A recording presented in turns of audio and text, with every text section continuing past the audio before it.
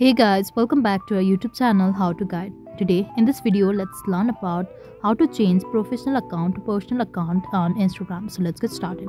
At first make sure you open your professional account. Now click on this profile icon in the bottom right corner and click on this three lined icon on the top right corner and in the search bar simply search for creators tool. So here it is now scroll down and we can see this option called switch account type. Simply tap on this and we can see switch to personal account option in the bottom. Simply tap on this and click on switch to personal account. And it's done. So that is all. I hope you liked the video.